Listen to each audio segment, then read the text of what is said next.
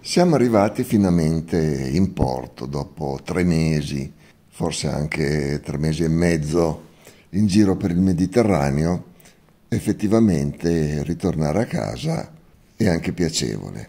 Guardiamo la nostra barca e notiamo i segni dei nostri giri. Effettivamente in Africa parabordi con eh, le foderine di velluto non ce n'erano, ma c'erano pneumatici Goodyear, Firestone, Pirelli che hanno lasciato dei bei baffi neri su tutte le fiancate. Dovremmo dargli una giustata.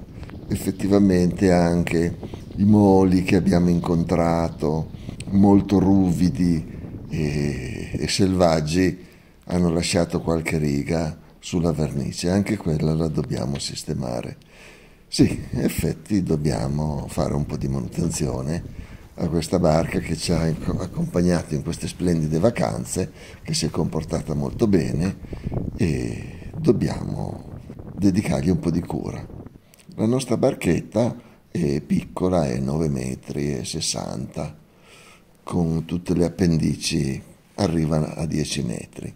E un RO 330 del cantiere Ronautica, un cantiere che non produce più ed era un cantiere spagnolo che comunque già eh, vent'anni fa, anzi trent'anni fa, produceva delle barche per quei tempi moderni. In effetti, guardando la nostra barca oggi, non sembra eh, che sia stata costruita 23 anni fa.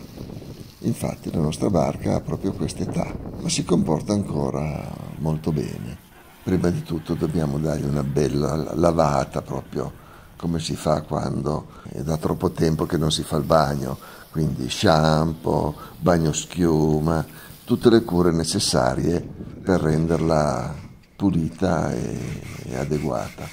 La barca fuori è pulita, direi quasi profumata, però dentro è un disastro, perché c'è da pulire le fodere dei cuscini, dei divani, eh, c'è da portarli a lavare, c'è da rimontarli, c'è da pulire tutti gli stipetti pieni di briciole anche dove abbiamo messo il cibo, c'è veramente da fare una grossa pulizia anche alla cucina, per non parlare anche dei vestiti che anche se usati poco, stando in barca, prendono un pochettino un odore di salsedine che quindi vanno, vanno sistemati. Anche il gommone ha bisogno delle sue cure. Il tender è sempre stato esposto in questi tre mesi alle intemperie, poi è stato usato per andare sulle spiagge, quindi era pieno anche di sabbia. Abbiamo dovuto lavarlo molto bene, togliere alcune macchie di catrame che erano appunto su questo, sulla plastica e dopodiché, dopo averlo lavato bene e lasciato asciugare al sole, l'abbiamo sgonfiato, piegato con cura e ritirato nella sua sacca originale. Il tender è dotato di un piccolo motore fuoribordo.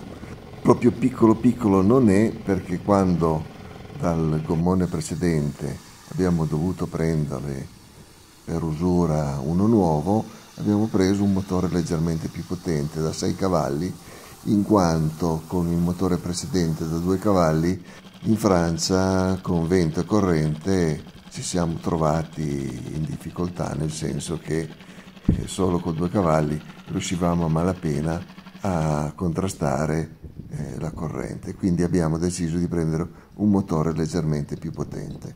Ha bisogno anche lui di cure, dopo una bella lavata e uno sciacquo di tutto il circuito di raffreddamento per togliere tutta la salsedine, l'abbiamo eh, ingrassato sia nei meccanismi interni che esterni con grasso blu che è proprio quello adatto per il contatto con l'acqua marina. Negli ingranaggi eh, dove è presente la plastica invece abbiamo usato del grasso al silicone che è più indicato.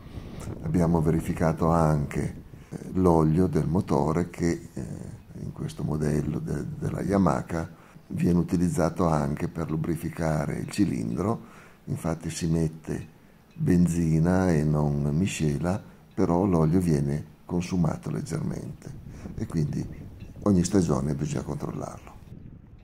Per sistemare il motore sul gommoncino e per sollevarlo quando è finito l'utilizzo usiamo una piccola gruetta fatta di acciaio inossidabile con due o tre snodi. Anche questo lo smontiamo perché se non c'è il gommone non serve nemmeno la gruetta. E anche qui con un po' di VD40 e un po' di grasso sistemiamo tutti i, bulloncini e i vari leveraggi. Insieme al motore, insieme al gommone e a tutto il resto lo sistemiamo in una cuccetta, nella cuccetta di prua, dentro al riparo. Barca piccola, motore piccolo. La nostra barca è dotata di un Volvo Penta da 20 cavalli, però anche se piccolo ha bisogno della sua manutenzione. Per lasciarlo tranquillo tutto l'inverno ci proponiamo e facciamo il cambio dell'olio motore e del filtro e quindi ci attrezziamo per smontare il vecchio filtro, montare quello nuovo e poi aggiungere l'olio fino al livello. Anche il motore lo puliamo, gli togliamo alcune incrostazioni, anche lì i leveraggi con grasso e VD40 dove ce n'è bisogno. Durante il lavaggio abbiamo visto tutti i piccoli danni che hanno fatto la vicinanza con i pescherecci e con le banchine non molto attrezzate.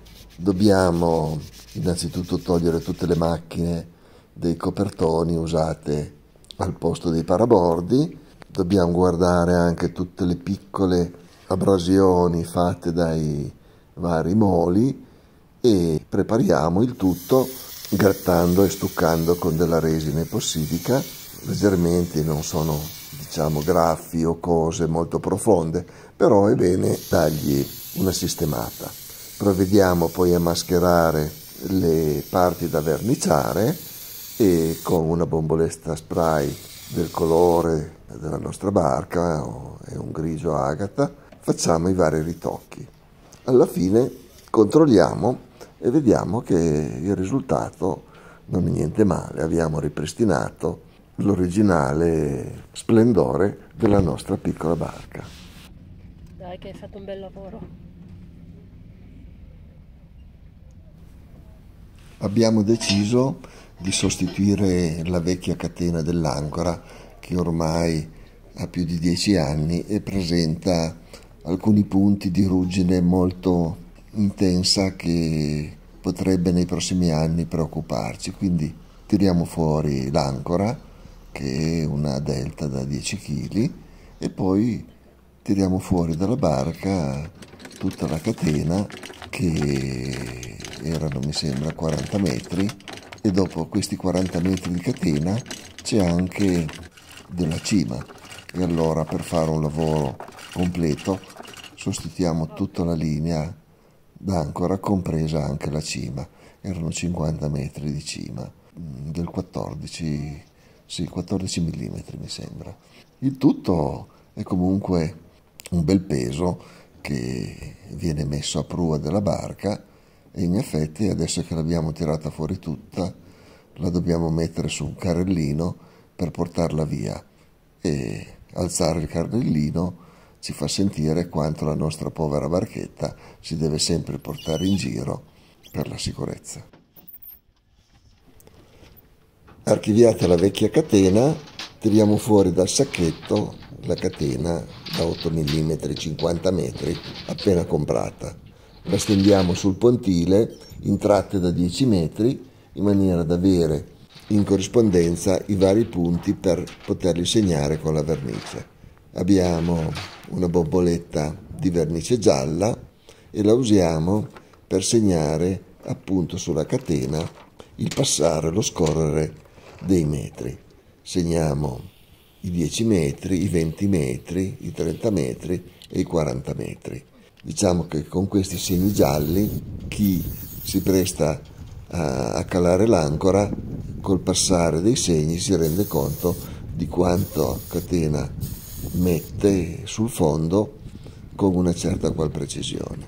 Finito di segnare la catena, la blocchiamo allo snodo dell'ancora in maniera robusta, in maniera che non, che non ceda.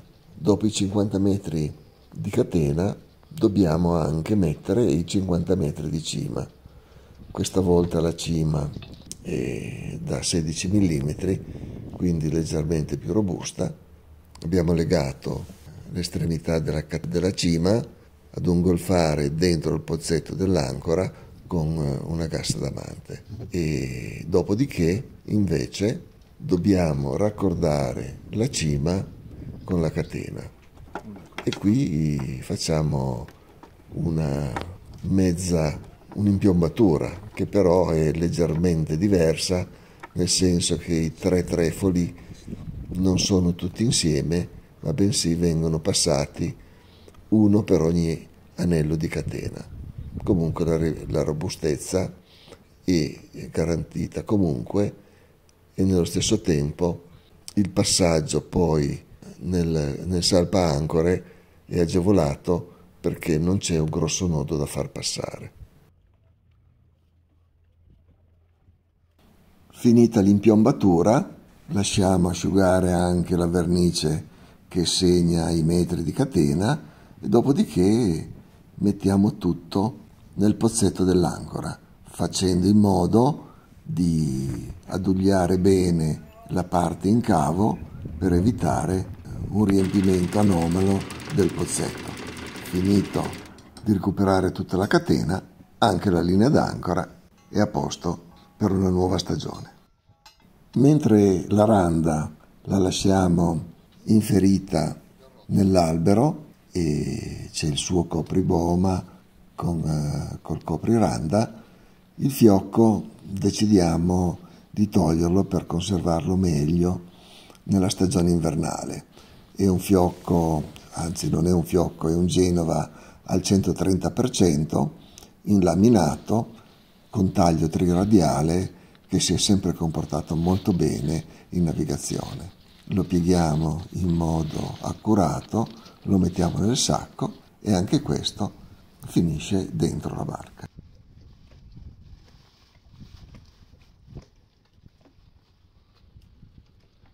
Fermiamo anche la drizza sia del fiocco sia del, dello spennaker in maniera che non eh, sbattacchi durante le giornate di vento.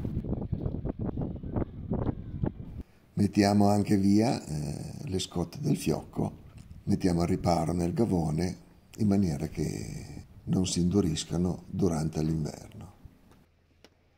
D'inverno qui è zona di maestrale e quindi bisogna mettere a punto tutte quelle finezze per evitare dei problemi. Il vento che entra forte dentro la custodia della randa crea dei problemi, quindi leghiamo il lazy bag come fosse un salame per evitare proprio che possa entrare l'aria dentro e creare dei danni. Insieme alla legatura del, del boma per tenere molto ferma la randa, blocchiamo anche il boma rispetto alla barca in maniera che non possa sbattere a destra e a sinistra. Tutto questo sempre per evitare danni, visto che qui il vento di maestrale soffia anche per parecchi giorni di fila con grande intensità. Puliamo anche il pannello solare per poterlo ritirare visto che la nanna di questa barca sarà per tutto l'inverno. Prima di togliere la capottina, perché anche la capottina verrà tolta, dobbiamo sistemare i cavi di collegamento del pannello solare.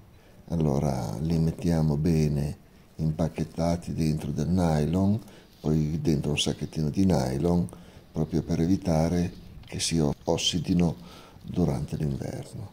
Li fissiamo bene anche a un TNT bene e così non sbattono durante le folate di vento. Anche la bandiera della nazionalità della barca dobbiamo sistemarla perché lasciarla sventurare tutto l'inverno a primavera è da cambiare perché è distrutta. Allora anche questa le mettiamo due pinzette per capelli e così sta ferma. Anche le canne da pesca che ci hanno dato tanta soddisfazione eh, devono essere ritirate per l'inverno. Dopo averle ben lavate e to- tolto tutte le tracce di sale, gli diamo anche una buona passata di VD40 per proteggerle dalla corrosione e anche i mulinelli li ingrassiamo e lubrifichiamo bene bene per trovarli efficienti per la prossima stagione. Naturalmente diamo una pulita e un'ingrassata anche ai portacanna per trovarli sempre efficienti. Anche le torce hanno bisogno di manutenzione, controllo bene le pile e se vedo che sono un po' scariche o un po' umide le tolgo per evitare che si ossidino dentro il posto e che quindi poi le troviamo a primavera tutte incrostate da buttare. Per lasciare la barca con tranquillità rinforziamo gli ormeggi, praticamente tutte le cime le raddoppiamo in modo che se per caso una cede ce n'è una di riserva. La seconda cima la montiamo leggermente lasca rispetto alla prima in modo che entri in funzione esclusivamente quando la prima cede o si allunga troppo. Controllati allora gli ormeggi, togliamo la capottina, anche questa con i suoi pannelli trasparenti tutto l'inverno alle intemperie, in primavera risulta quasi distrutta. Siamo quasi pronti, la barca è a posto e la via del ritorno ci attende. Ma già sulla nave stiamo fantasticando dove andremo la prossima stagione.